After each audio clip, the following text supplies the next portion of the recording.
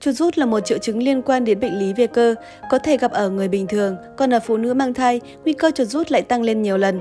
Điều này không những khiến bà bầu mệt mỏi khó chịu mà còn ảnh hưởng tới giấc ngủ, tới sức khỏe của cả mẹ và bé. Vậy nguyên nhân do đâu mà bà bầu lại gặp phải tình trạng như vậy? Hãy cùng tham khảo những thông tin sau nhé. 1. Do cơ thể tăng cân Áp lực từ em bé đang lớn dần mỗi ngày có thể gây tổn hại đến hệ thống dây thần kinh và mạch máu đi đến chân của mẹ bầu.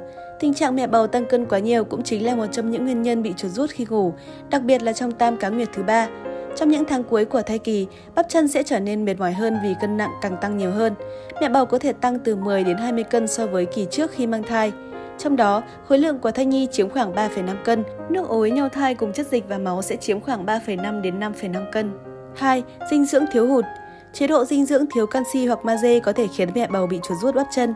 Đây là những thành phần dinh dưỡng quan trọng giúp sản phụ khỏe mạnh và bé yêu phát triển toàn diện. Khi bạn mang thai, thai nhi cần có canxi để xương và răng chắc khỏe, phát triển tim, hoàn thiện dây thần kinh, giúp cơ bắp khỏe mạnh, điều hòa nhịp tim. Nếu không bổ sung canxi cho cơ thể ở đủ lượng cần thiết, em bé sẽ lấy canxi từ xương của bạn, dẫn đến sức khỏe của bạn sau này sẽ yếu đi. 3. Do mất nước Nếu nước tiểu của bạn có màu vàng đậm, điều này có nghĩa là cơ thể bạn bị thiếu nước. Ngoài ra, một số dấu hiệu bạn bị mất nước khác như là môi bong chóc, da thô ráp, hôi miệng, thèm đồ ngọt, đau đầu, chuột rút bắp chân cũng dễ dàng bắt gặp. Khi bị mất nước, cơ thể của bạn không thể tự làm mát như bình thường. thất nhiệt càng nóng thì càng dễ bị chuột rút do hiệu ứng nhiệt trên cơ bắp.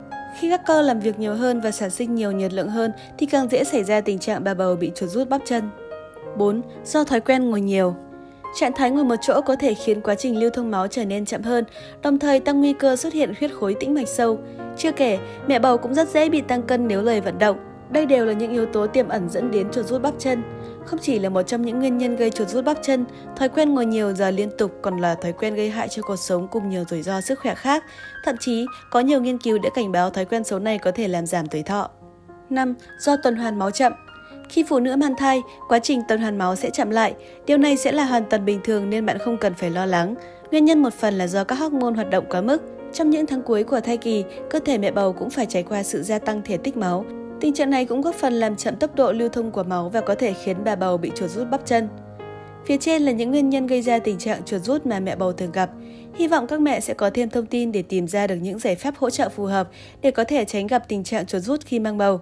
Chúc các mẹ có một thai kỳ khỏe mạnh.